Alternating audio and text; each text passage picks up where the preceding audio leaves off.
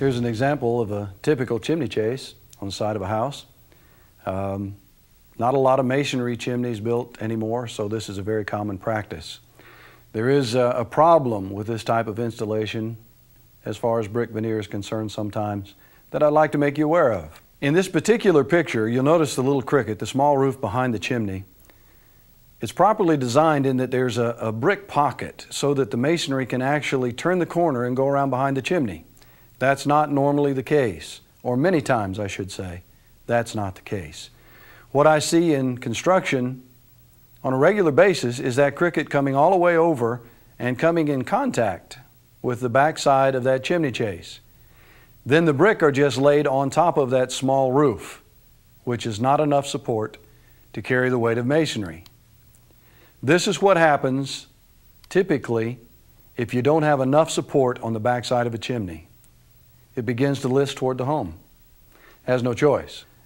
It's a twofold problem in that as it leans toward the house, somewhere around gutter height or soffit height, a crack develops as the chimney leans over against the roof. On the exterior side of the chimney, the crack now allows water to just pour into the chimney chase.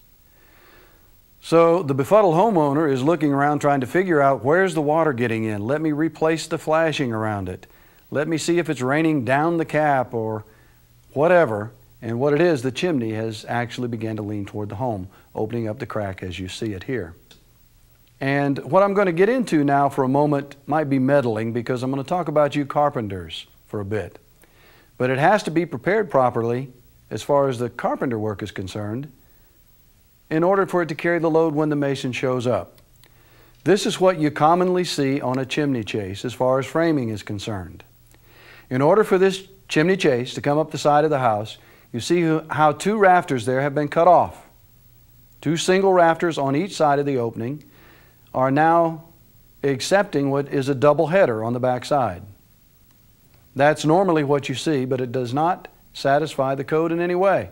It won't carry the weight of masonry. What it should be is tripled up rafters up both sides of the chimney chase and the header in the back of the chimney as you see depicted here. This will carry the load of the masonry as the chimney chase is bricked. Masonry weighs 40 pounds per square foot. What would you say that chimney weighs? Would you park your BMW in that garage? Obviously, somebody wanted a, a, fireplace in the bonus room, and that's great. But you have to wonder when you drive down the street and take a photograph like this is there proper support for that chimney? Just to give you an idea of about how much it weighs, we did some calculations and it weighs about what a Crown Victoria and a half would weigh. Obviously, a lot of weight.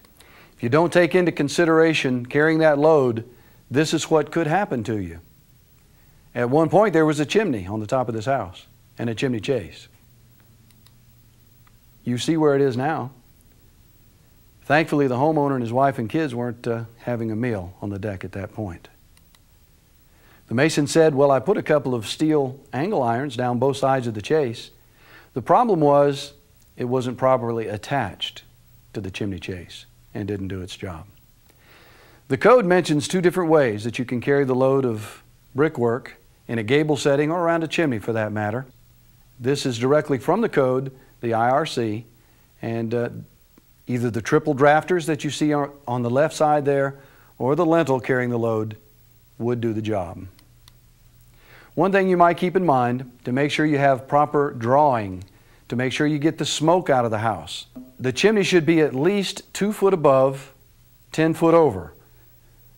Now, what that means is at any point that you can make a level line from the roof over to your chimney that's at least 10 foot long, then the chimney should be at least two foot higher than that point.